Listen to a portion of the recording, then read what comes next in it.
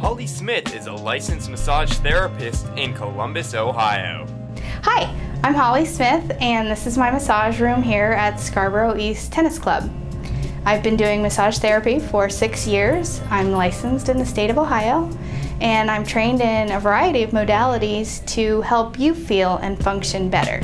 You should get a massage because you'll feel better, you'll function better, you'll be able to do the things that you normally do with without the stress of muscle ache. I'm excited for massage therapy here at the club and I can't wait to meet you. So come on in and make an appointment. Call 614-282-3718 or visit hollysmithlmt.com to inquire about your massage.